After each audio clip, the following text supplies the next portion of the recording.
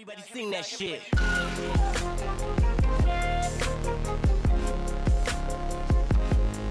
Shit. So it's another episode of the the Breakdown podcast. We have Andrew DeLuca or Andrew Vegas, as you're now known. Is that because everybody Yes. refers to you as being in Vegas? Everyone refers to me as being in Vegas, but uh, just some just some stuff that I'm doing in my own social media world. Uh, trying trying to get people not to find my personal information. So- Whoops. Try, trying trying to hide it a little bit, but it's all good. Doesn't matter.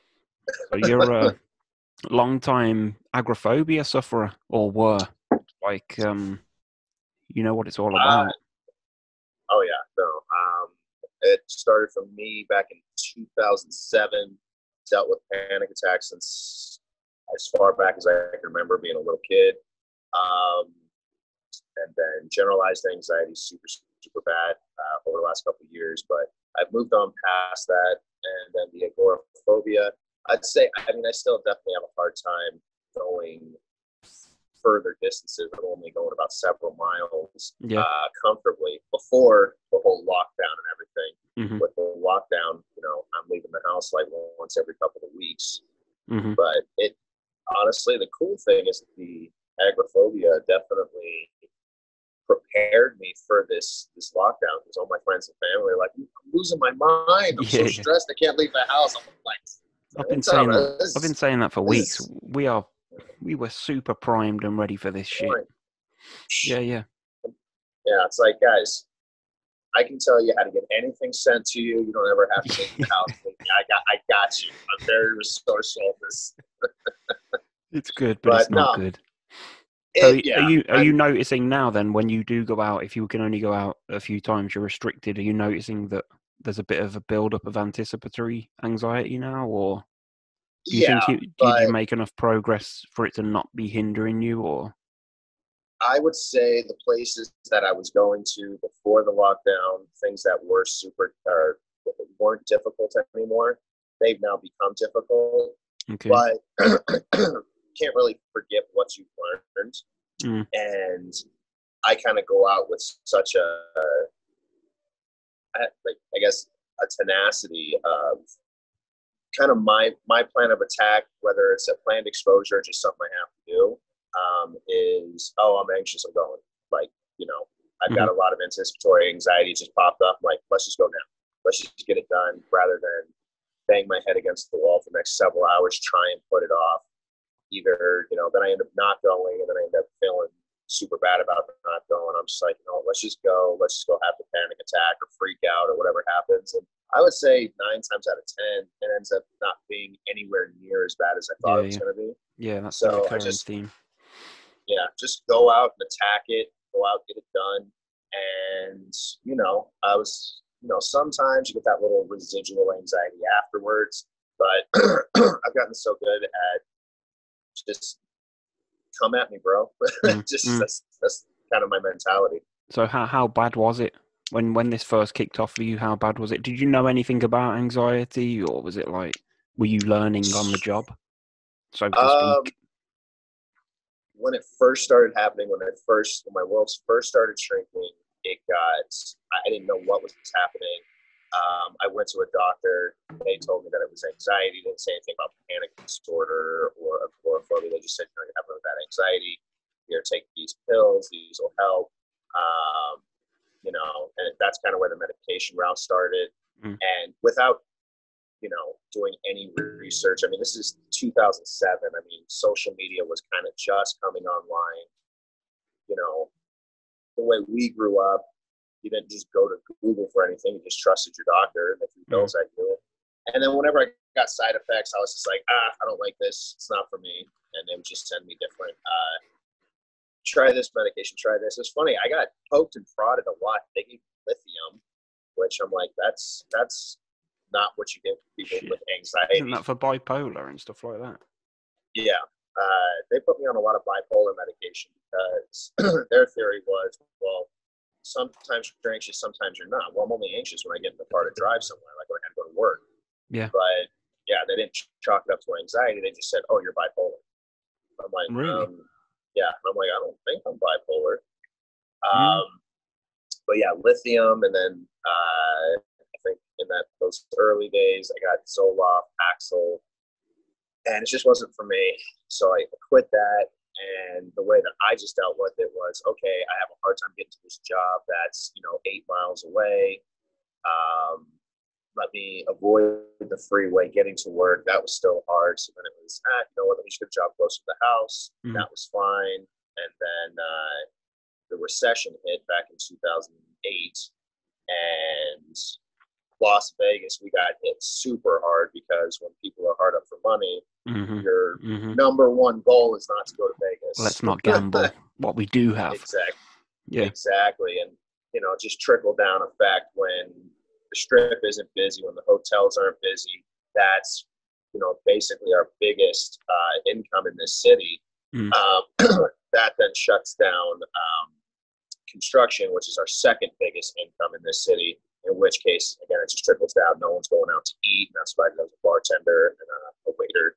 and uh, both those, uh, I was working two jobs at the time, both full time, and both uh, businesses actually went under. Mhm. Uh, and then I was unemployed, couldn't find a job for eight months, and so I was completely homebound. And Yeah. that's when it really set into the point where I couldn't leave the house. Over the years, you know, out of I have to work, I have to provide. Mhm. Um, I would work everything very, very close to home, and then you know that's kind of just how I lived my life. I kind of carved it out. I avoided things.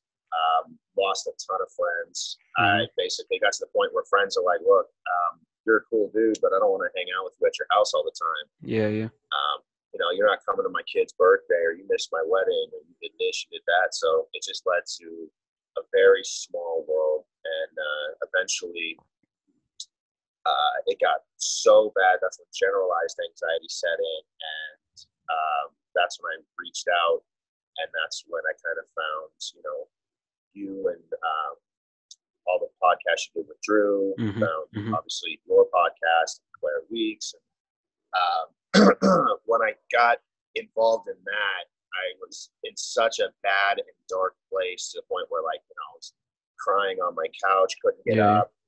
Even though I worked from home, I couldn't work. Every everything terrified me, Mhm. um, and just it was kind of like a hail mary. Like I just I gotta you, You gotta do something. running Yeah, yeah. and it was just like, look, I already feel so terrible.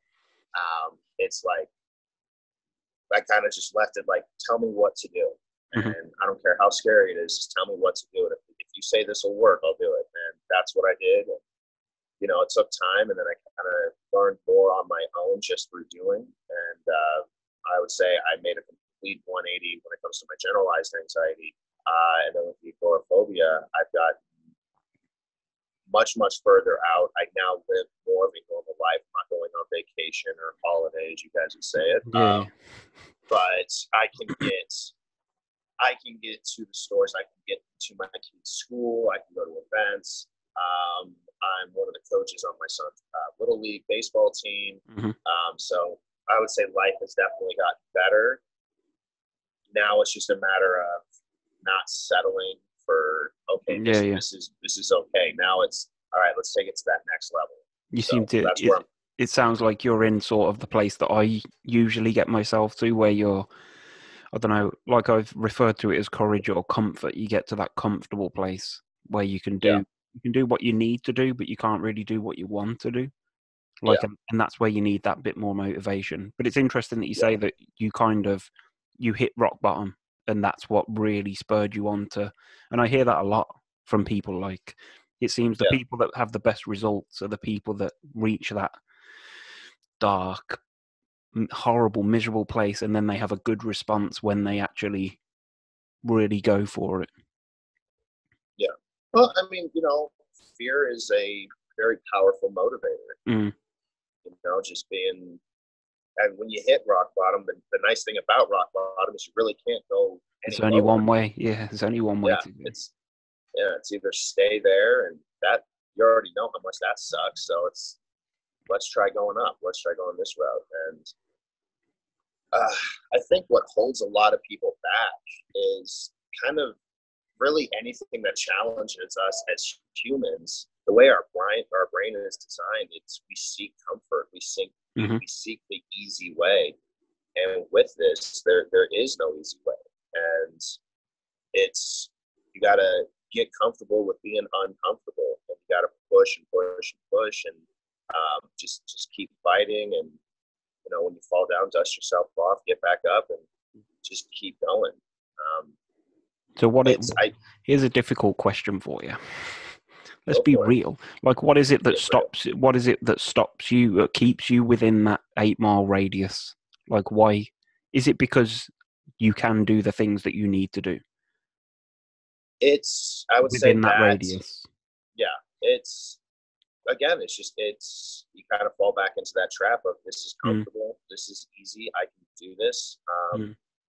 and uh, yeah it's it, it that fear creeps in of okay um, you kind of forget that first trip how hard it was but you did it and you Mm-hmm. kept building upon that and then it gets to a point where it's like okay now you're really in the deep end this Mhm. isn't a you know my first exposure was driving quarter mile you Yeah, know, yeah. if that Mhm. to a to a to a, a gas station i mean going to a gas station you're there for you're there for more than five minutes you know you're doing Mhm. something wrong I remember your So- old. I remember your old videos of going to. Was that the gas station? Yeah. station? Yeah, yeah.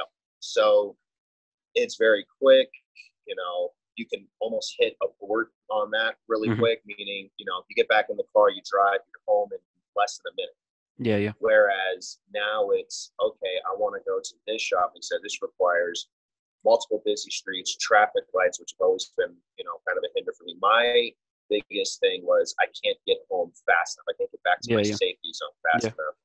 Mhm. So, you know, when you get out there further and further and further, it kind of sets in that, hey, this isn't a, oh, it's okay if I have a panic attack, I'll be home in a minute. It's okay, I'm having a panic attack and I'm It's going to know, take me 10, 15 minutes. 15. Yeah, yeah. Exactly. So, and again, what I have to remind myself, especially when I go out and I'm, I'm practicing this, is it's not about getting good at going somewhere. It's it's about being able to handle the panic attack, be able to ride it out, and kind of just be that calm warrior in the storm. Let it come at you. Let Mhm. it hit you.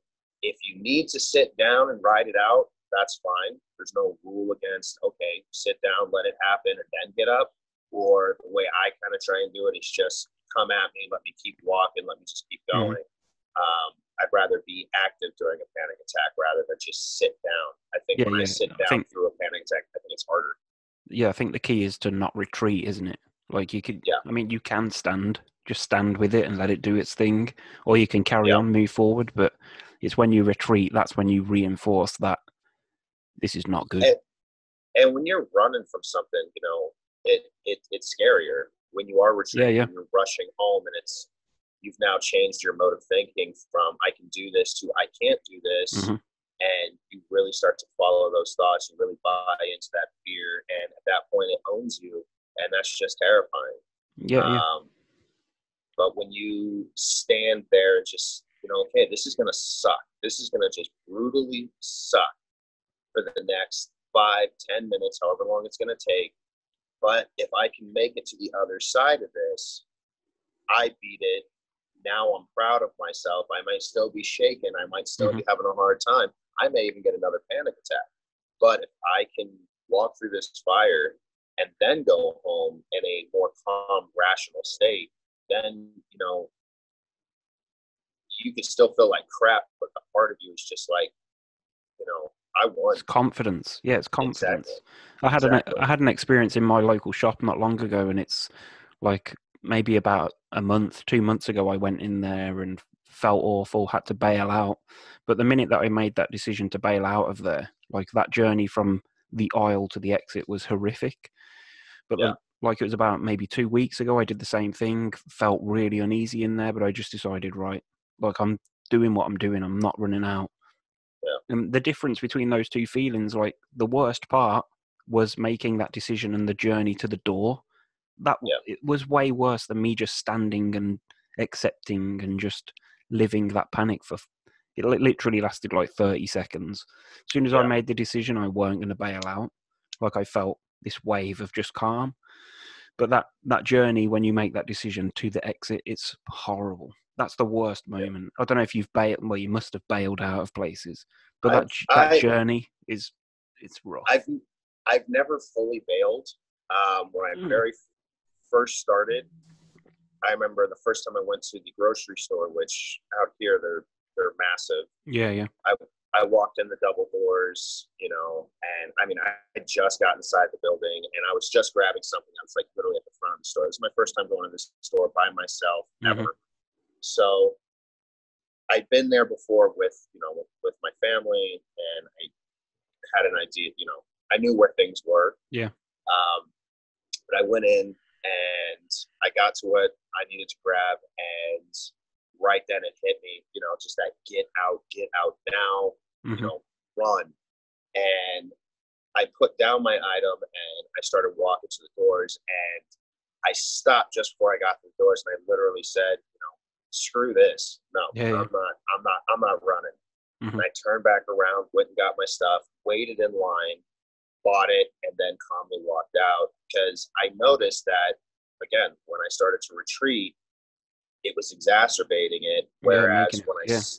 Mhm. you know, when I stopped the retreat and said, no, screw this, go back, uh, it actually started to come down. Now, Mhm. granted, I'm, I'm giving the clerk my money, like, you know, shaking. Yeah, but But, you're doing know, it. You're doing Yeah, it. it's, I'm, I'm, yeah, I'm not letting go. I'm, I'm not holding back. Um, I'd say the closest thing that I had to retreat ever since I started doing this was this last October. My my kids' school had a festival Mhm. uh, that uh, we volunteered to help run. We had a booth. We were selling some of our uh, our. Uh, besides being a trainer, I also have a second business of uh, wood crafts and building Mhm. things, whatever. So we had a booth and we were selling stuff, and I mean, this is a major event. I mean, a couple thousand people. There's, you know, we're trying to set up our booth. There's cars everywhere trying to set up on this grass field, and it just got super overwhelming. That um, I ended up taking uh, a benzo Mhm. just to like. I'm like, this. This is not going to be something that's going to be, you know, I'm here and I'm out. This is going to be like a five hour event Yeah, yeah.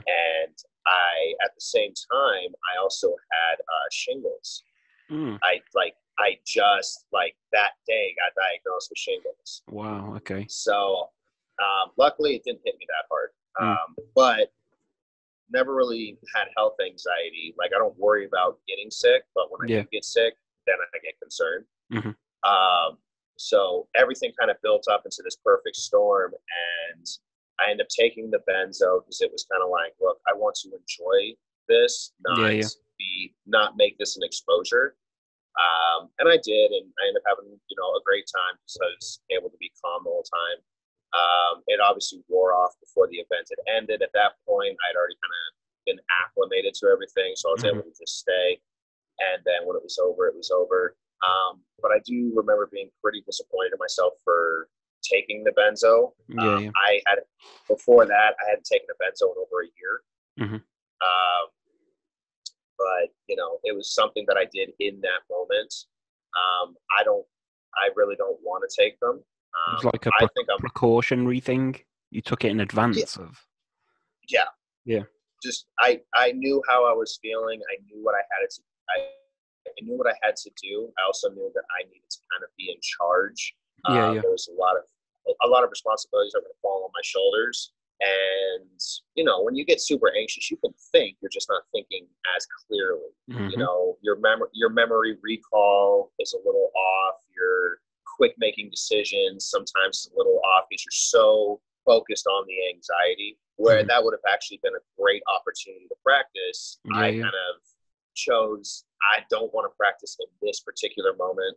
Um, you know, and again, looking back, even talking about it now, it's like I'm, I'm making excuses. I mean, I got scared Mhm. and I kind of I kind of failed. Um, but I would say that's probably really the only time I guess you could say I kind of failed out. But um, and then because that affected me so much, I made sure that I kept going back to that to my kids' school every single day, and I got to Mhm. the point where I just would go and sit in the parking lot, um, you know, for 30 minutes at a time, just pull up my phone and watch an episode of a television show or something Mhm. like that, and just just sit there with the anxiety. So I was like, no, you're you're not gonna own me, Mhm. and uh, that was it. Right now, if I had to drive down to my kids' school, obviously schools, I don't. Who knows if they're ever going back? Mm, man. Uh, yeah, the school year's over. It's supposed to be over next week, um, and we're still not back. We're we're still in lockdown. So yeah, same. um, yeah. So maybe after summer, but uh, if I went there right now, I would definitely say I would have a panic attack, but I wouldn't run. I wouldn't retreat. Mm, mm. However, if you if you said, "Hey, drive down to your old high school," that's 25 minutes down the road. That would be like that's that's probably not going to happen. To me. okay. Yeah, yeah. It's So- interesting. So, what sort of? Because people love hearing about physical symptoms. So let's let's go there. Yeah. What sort of thing? What was your big issue? Because I speak to so many people, and it's it astounds me that people are so different with anxiety. Like some people, it's the palpitations or the breathing. Like for me, it's a dizziness and brain zaps and fucking depersonalization. That's my things. What was it for So, you? Um, for the longest time, the physical symptoms were, you know, obviously the racing heart, you know, Mhm. which your adrenaline's just going up. Mhm. Uh, I would go into like that tunnel vision, Yeah, yeah. and then the longest time, I just didn't have a name for it, but I would get that derealization or depersonalization. Yeah. Um, and. I just, yeah, and I used to just explain it's like I feel like I'm in a dream. Mhm. That's that was the best way to explain it. Mhm. It's like this is happening, but it doesn't feel like it's actually happening. Like I need to wake up. yeah, yeah. Um, that was probably the scariest and hardest one to deal with.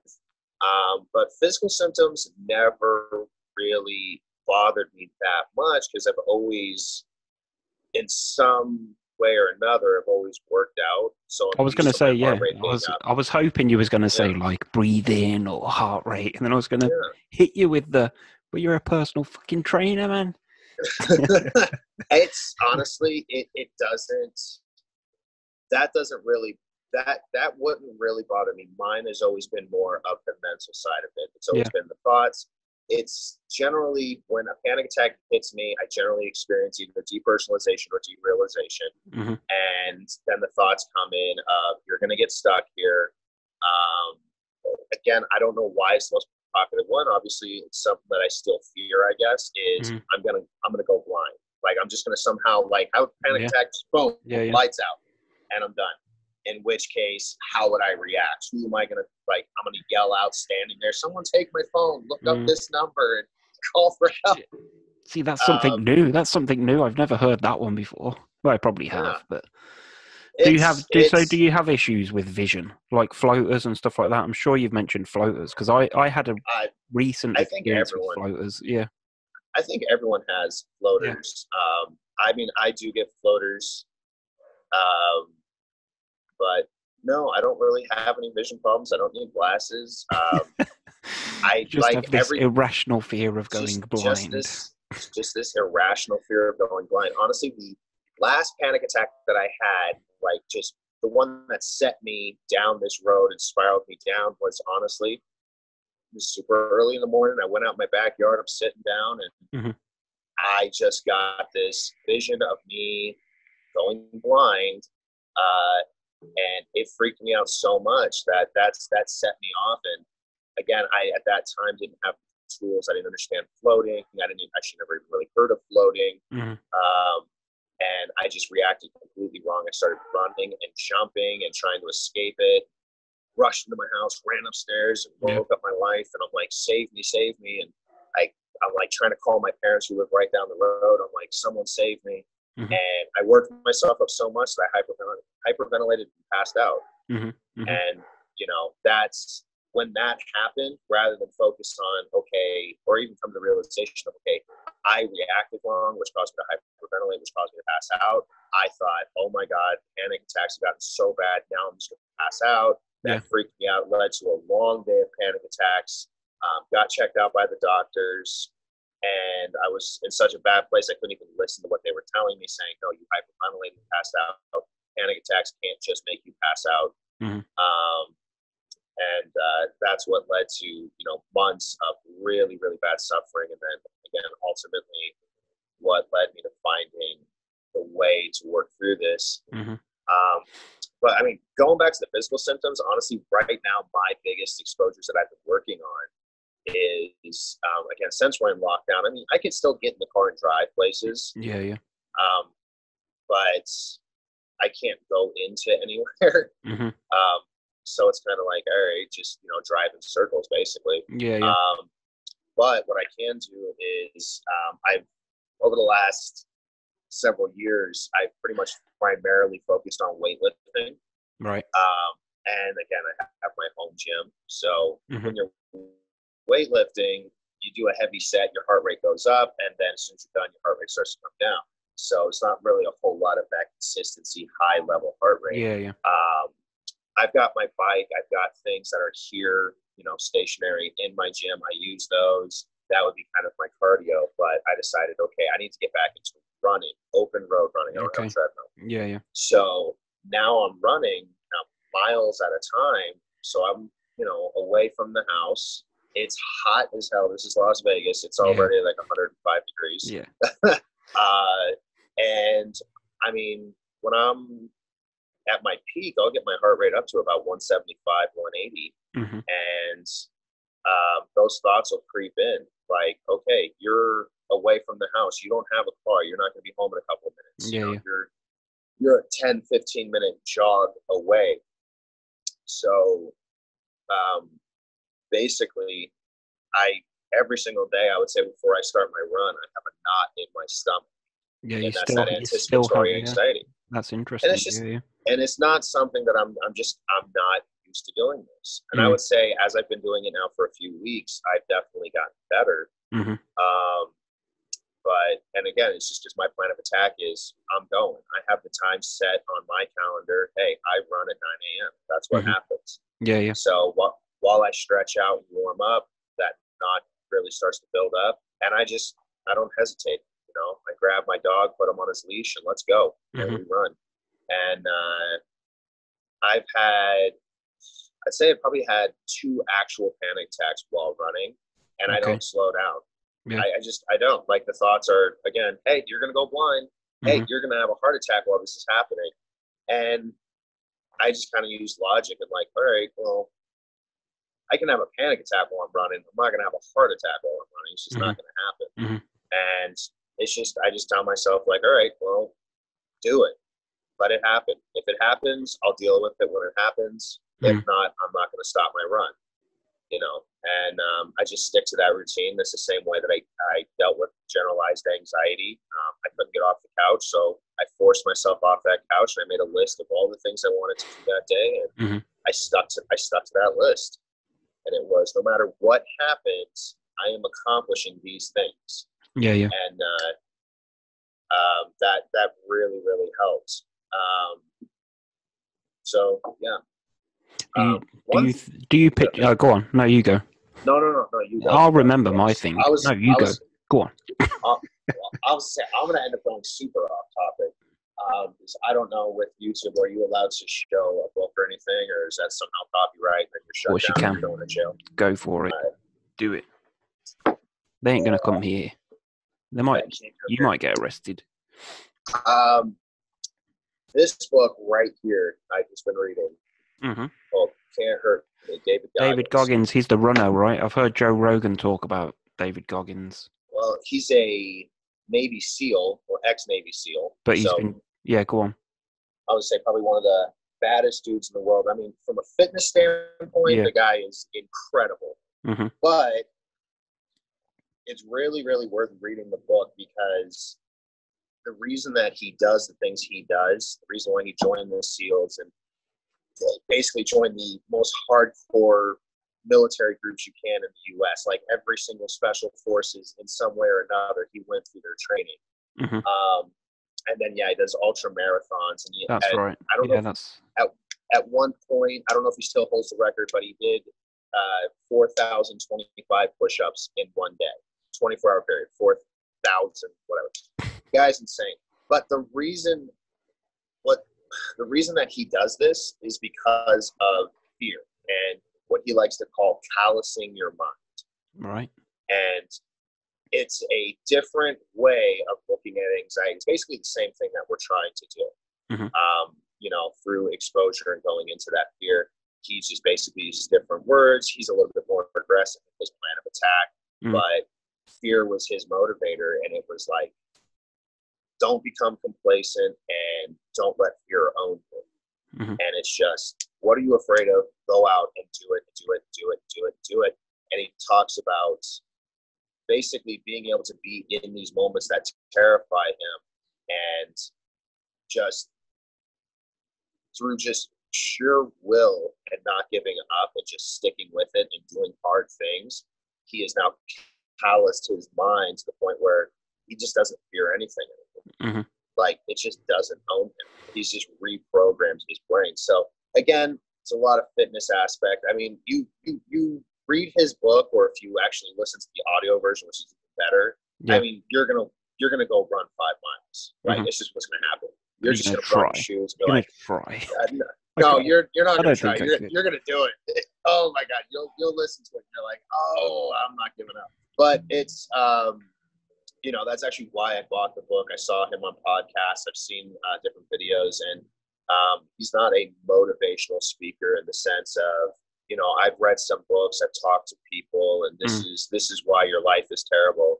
No, he is a guy that grew up in a terrible, terrible household, shitty upbringing, dealt with a lot of adversity in his life, and it just became through just hard, hard work and Mm. just I'm, I'm going to own it. Nothing will own me. I will own everything in my life that he uh, recovered. And I now, it's, I would say his book is now in my arsenal of weapons in my mind. Um, When these things happen, it's just like, perfect. Let's, let's let this, you know, come at me. I, I, I don't care. Like, I don't care about my anxiety. It's it's not going to turn it off. It doesn't make it better, Mhm. but it's not going to own me. Which again is the same stuff we've been working on for a while now. Yeah, yeah. Do so. Do you ever see yourself as being free to get out of that ten mile radius? Can you picture Yes, it? Can you imagine it? You're still, yeah, Absolutely, Yeah. absolutely. I'm I'm definitely not giving up. Um, you know, it's still a lot of work ahead of me. Uh, one thing I notice is, you know, being in, you know, the anxiety groups and, you know, Mhm. um, hearing other people's stories, um, I would say the vast majority of people that, I mean, I'm even giving advice to and um, talking and, and helping with, a lot of them have been agoraphobic for, you know, six months, you know, a yeah, year. yeah, mhm. This is this is new to them. yeah, yeah. Um, I'm like, no, guys, I've been dealing with this since, you know, Mhm. going on 13 years now of really, really limited, not going very far. Again, I'm born and raised in Las Vegas. If Mhm. I were to go outside of my current comfort zone, I will not recognize anything because Yeah, yeah. everything changed. You know, um, I can see the strip from my house. I mean, it's like 20 miles away, but I can see it Mhm. but I see video, I see videos and pictures, and I'm like, I don't even recognize half the Yeah. places here. yeah, this is how we grow. So where so- where is the furthest you've ever been, like as a child or anything? Have you been like cross country? Oh. I've been out of. Oh yeah, well, um, I've been cross country in the sense of going north. Uh, so Yeah. Nevada, Las Vegas is at the bottom of Nevada, which Nevada is basically at the bottom of the Mhm. country. Mhm. Um, so I actually just with a friend of mine drove up to Washington State. It's like, uh, uh, was it like 1,200 miles? We did that in a day. Just drove all the way up there. Now again, this was um, I was having panic attacks while doing it, but Mhm. again, I, it hadn't become a disorder yet. I didn't know what was happening. Right, right. Um, but I did that. I drove to Los Angeles a couple of times by myself Mhm. uh, when I was younger. Um, I've never been on an airplane that I, I, I, I was the last time I was on an airplane. I was six weeks old, so I didn't really, right.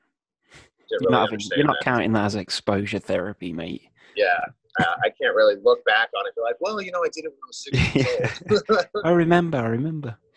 yeah, but um, yeah, I mean, you know, I'm the oldest of six kids. You know, Mm-hmm. vacation for us is where can we drive and be back in a day? You know, Yeah, it wasn't. Uh, yeah.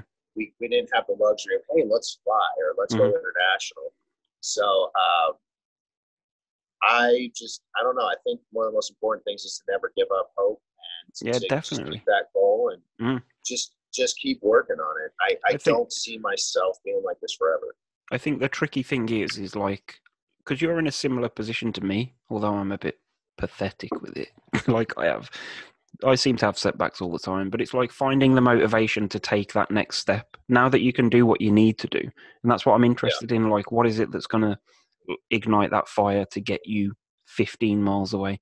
Or what is it Yeah. for me to get on an aeroplane or what? Like, there needs to be something else because we did the rock bottom thing and we Yeah. made the we made the progress that we need to make to get to where we are now.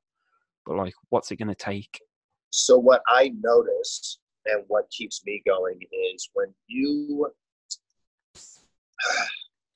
when I get used to a particular area, I, I build this, you know, radius um, of comfort around my home. You know, it's you know, it feels good, but all of a sudden, it becomes difficult again. hmm You if you you can become you can become complacent, and then what happens is you kind of fall out of shape. I guess the best way to Mm. put it is It is like a, it's a men, mental exercise, isn't it? You do become out Yeah. of shape. Yeah. if you get to the point where hey i'm not having panic attacks i'm not getting anxious then all of a sudden for whatever reason the shop that you've been going to every day for the last couple months you all you, you have a panic attack and you fall into that old habit of am i going to have a panic attack today? Am i going to have a panic attack today?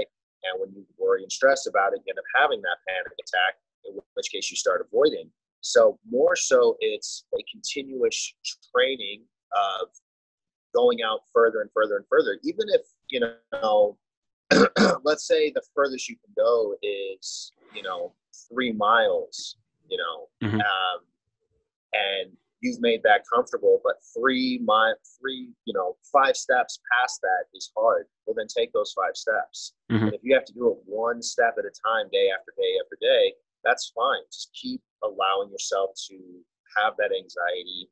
Um, keep training your mind um, I, I think that's why I've always gone backwards. Mm. Um, is I become comfortable, Yeah. and then I fall into those bad habits, and I start retreating back.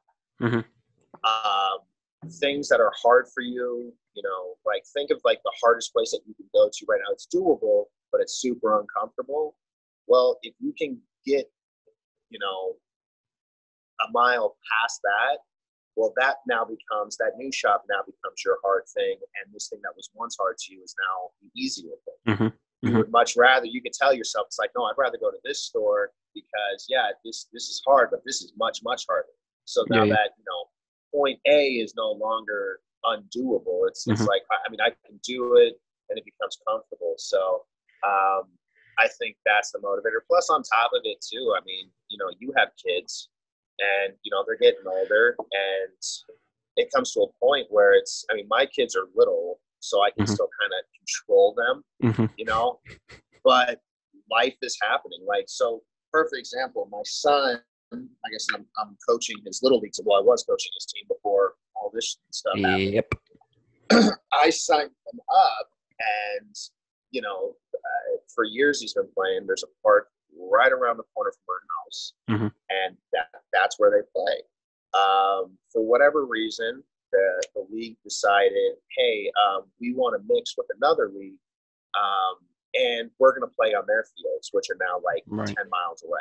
Okay. And I had signed up. I had made all this dedication. You know, I've been working with the other coaches, spent all this time with my son, and then we get this bombshell dropped on us that, hey, uh, we're moving fields. You're gonna be ten miles away for all your games. Mhm. Plays twice a week. So I'm like, immediately, I was furious because I'm like, what the hell? You just took this away from me. Mm. You know, Mhm. obviously, they're not going to make special exemptions for some guy that has a, you know, Mhm. a panic disorder or whatever. Yeah. but you know, it was incredibly frustrating, and it's like, all right, well, I'm probably not going to be able to make it to a lot of his games because they're so far away, and I'm just not at that point yet. Mm. And it's that's where I really comes to that realization. It's like, look, these types of things are going to continuously happen That's I'm your motivation. forced. Yeah, it's had I been pushing harder, I may have already been at that point, and Mhm. this would have been a non-issue. They've been like, "Oh, we're we're moving fields. Okay, you know that it's inconvenient, but whatever, I can do that." Mm. Um, but, but because I had become very comfortable in going to that particular field and areas around it, Mhm. now it's you know I got kind of pushed back into that corner, I guess you can say, and it's like, Mm. crap, this is something difficult that I have to do again.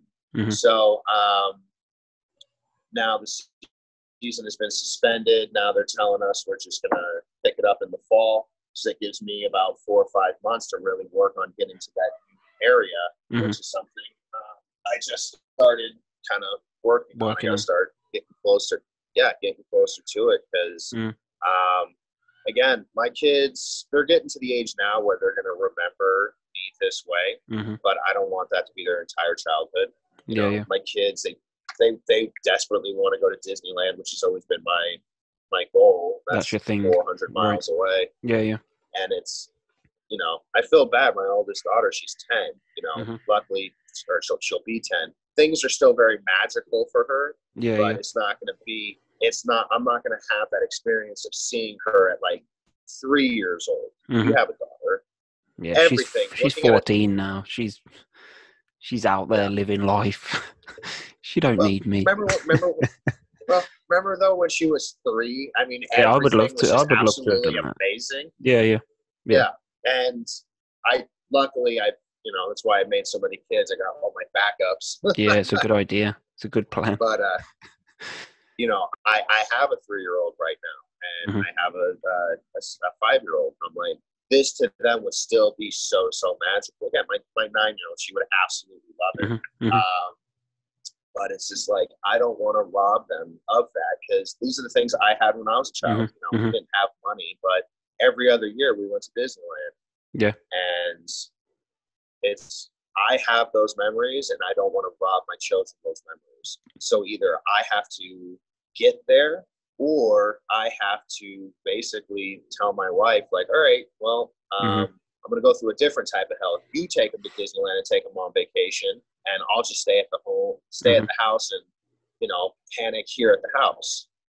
You may as well so panic in Disneyland, mate. You may as well panic Exactly. in Disneyland. Exactly. So it's that's what I got to do. So I got to get to that get to that point. Um, so I mean, yeah, I mean that the other biggest motivator too is, is you know you hear it from people all the time is, is what do you want to? It's when you're laying on your deathbed, they say it's the things in your life that you didn't do that you regret the most, Mhm, not the mhm. things you did. And you know, with agoraphobia, it's you know, there's a whole lot of things you don't do. It's a lot of regrets. Mm. But another thing though too is um, everybody in the world, no matter how great they look from the outside, everyone's dealt a hand in life. And some people, you know, we think that they have this, you know, they got just dealt a really good hand. They've got this, this, Mhm. this, that, whatever. But we, we really don't know their struggles. But with people like us, it's how much more awesome would our story be that Yeah, it's yeah. like I had to start further back than you did in this race. I had to overcome a lot more just to live a normal life before I could really reach out for greatness. Mhm. Um, so I mean that's that's also a motivator. It's you know, hey, like my wife was telling me she's been having panic attacks because she's so just stressed out with this whole lockdown. And you know, uh, remember what she was just telling me she had a panic attack the other day. Um, and I just told her, I said, yeah, it's like, you know, now imagine when you go to the grocery store, you're, Mhm. everything's fine. All of a sudden you're like, hey, what's down this aisle? They're like, nightmares, oh no. Yeah, yeah. And all of a sudden you're, you're in full blown panic. panic. So Scary. it's, it's scary, but you know, again, at the end of the day, it's never killed you. It's, it's never hurt you physically. We're still going. It's- We're still here, Yeah. mate. Exactly. So it's uh, again, the more you practice, the more you do it, you, you just kind of develop that mindset. And the cool thing is, you can't forget what you've learned. So you, Mhm. you take these skills, you keep them with you, And if you're just willing to just go again and again and again, think I that's mean, the key. get there. I've The- key is in the repeated practice. Even when you get to the comfortable stage, you've got to find whatever it is that ignites that fire. Find whatever motivates you and just keep keep going. and I think also success builds success. I mean, you know, there's going to be days where it's not even fear that you know is keeping you. It's just I just don't want to go. I'm just Mhm. lazy. I'm not. Mhm. I'm unmotivated. I just don't want to do anything today. And it's you still got to go. You Yeah, yeah. Still got to do it. Mhm. No days off. Just go. Just go. Just go. And um, again, that's kind of just how you reprogram your mind Mhm. um, and you really start to take ownership over your mind. Mm. And again, it, it, I, I believe too, it crosses over into so much more in life. You know, it's it's actually a tremendous skill to have that power over your mind. Um, trying to think of the right word for it. Um, I don't know. But- just base, basically have that ownership yeah, just yeah. that that dedication of making a goal and seeing it all the way through Mhm. and not stopping. Um, so yeah, it's what it is. It's what you got to do. That's it. I reckon that's it. You Yeah. got you got a client coming in in ten minutes. Yes, sir. I'm gonna I'm gonna murder him. Yes. well, he's going to help pay towards the Disneyland trip. That's the point. There you go. Mm. Exactly. See, I'm I'm weird because, like you said, Disneyland is 400 miles away. Whatever, I could drive that.